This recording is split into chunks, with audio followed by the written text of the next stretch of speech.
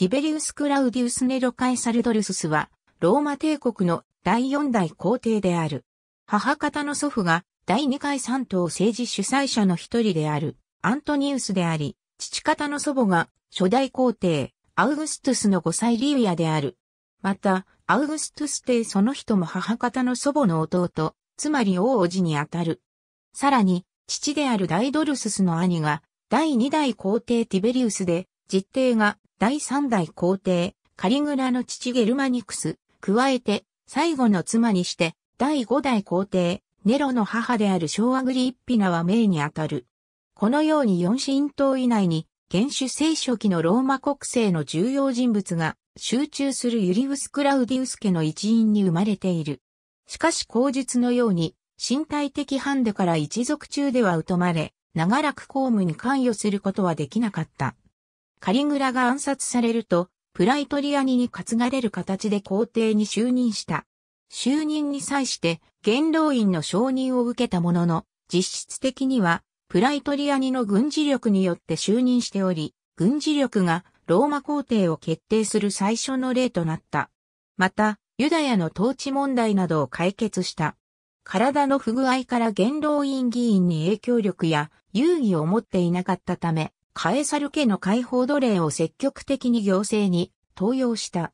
このことは非元老院議員の統治への関与を増大させ、皇帝への権力集中や官僚性の発達を推進した。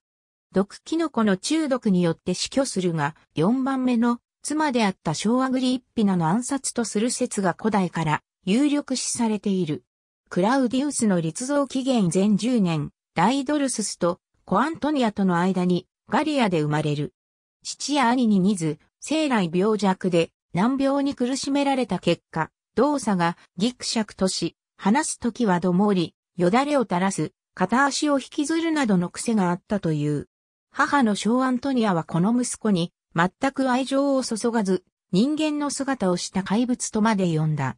ユリウス・クラウディウス家に属する男性としては珍しく、公務から遠ざけられ、長くエクイテスの階級に止まった。この間に、エトルリア氏やカルタゴ氏といった歴史著述を行い、歴史家としての足跡を残した。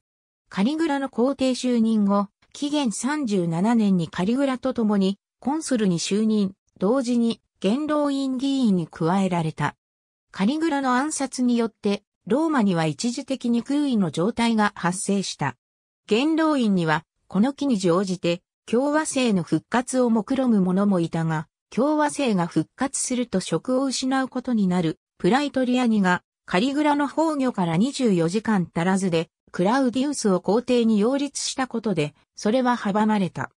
この時クラウディウスは、プライトリアニとの間に密約を行い、各兵士に1万5000セステルティウスという莫大な賄賂を約束している。プライトリアニに担ぎ出されて皇帝に就任するまで、クラウディウスはあまり目立たない存在であった。しかし、この50歳の神帝は即位すると同時に、先帝カリグラが文字通り崩壊させたローマの財政を立て直した。また、ブリタニア遠征は、クラウディウスの時代に、カエサルの遠征以来初めて本格的に行われ、実際にブリタニア南部の征服に成功している。後に皇帝となったウェスパシアヌスなども、ブリタニア遠征の際に初めてその才能を見出されている。また、アウグストゥス以来初めて、ガリア出身の元老院議員の議席を認めたのも、クラウディウスである。一方でクラウディウスは、家庭的にはあまり恵まれなかった。クラウディウスはその人生において4度の結婚をした。3番目の妻メッサリナは、夫の権力を使って貴族たちに関係を迫ったり、4番目の妻ショアグリッピナは、権力のためだけに夫に近づき、もともとは法律で許可されていなかったはずの宿鉄婚を行った。ショアグリッピナは、毒キノコの料理を食べさせて、クラウディウスを暗殺したとも言われている。後に、クラウディウスの実の息子、ブリタンニクスも、ショーアグリッピナの連れ子で、クラウディウスが養子としたネロによって殺された。